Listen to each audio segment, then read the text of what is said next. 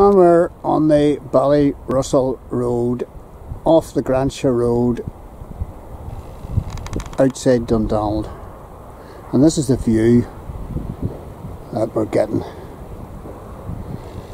Temperature today is about 8 or 9 degrees. So that's pretty good.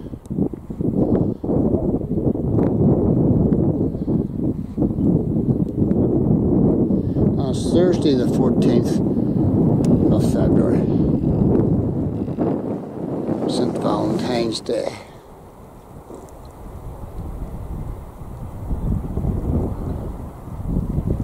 We're looking down towards Dundonald this way.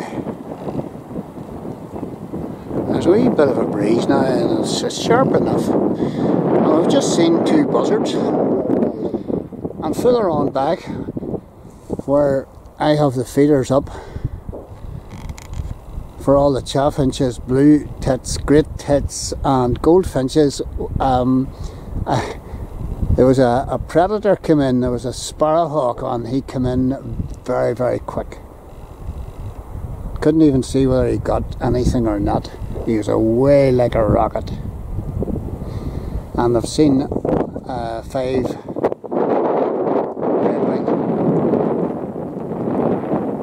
well. So, didn't get great views of them, mind you. Hard, hard enough bird to, to spot. They're very, uh, you know, they're very hard to, to film. They're they're very uh, rich. Don't let you get anywhere near them. And these, the, the this is uh, various agriculture trials going on in, in, front of us.